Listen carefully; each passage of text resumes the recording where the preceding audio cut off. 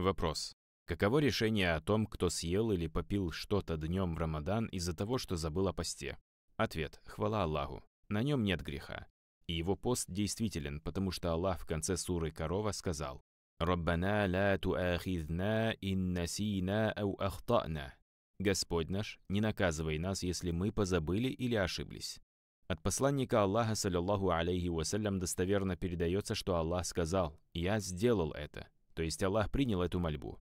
Также от Абу Хурейры, да будет доволен им Аллах, достоверно передается, что пророк, саллаллаху алейхи вассалям, сказал «Пост того, кто по забывчивости поест или попьет, не нарушен, ибо поистине это Аллах накормил и напоил его».